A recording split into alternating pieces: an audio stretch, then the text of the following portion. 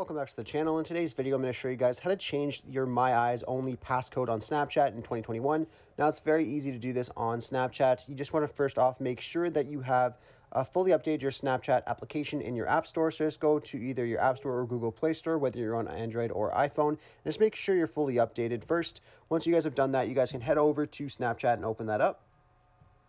Once you're on Snapchat here, you just want to go over to where your uh, photos are and stuff like that. So just swipe up from here, and then you'll be in your memories here. Now you just want to navigate over to the My Eyes Only tab at the right side of the top of the screen.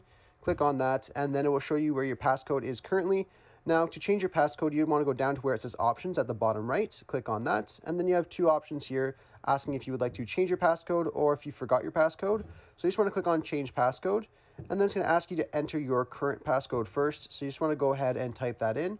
So I just put in my current passcode, and then it's going to ask you to create a new one here. So I can just go ahead and put mine in. And then the same thing, just got to confirm it. And there we go. So once that is done here, it's going to tell you that uh, this is the only way to access your My Eyes Only, your new passcode. And if you just want to go ahead and confirm it at the bottom and click on continue.